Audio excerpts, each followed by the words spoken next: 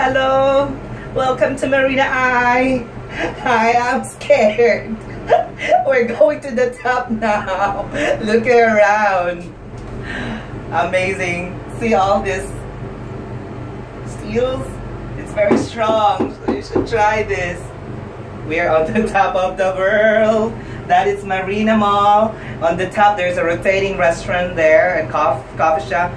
They're building hotels nearby. Behind me is Palace, Emirates Palace. These are palaces also.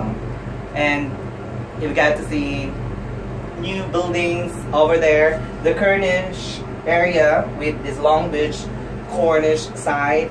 Amazing. And there's that event there right now going on. There's a concert.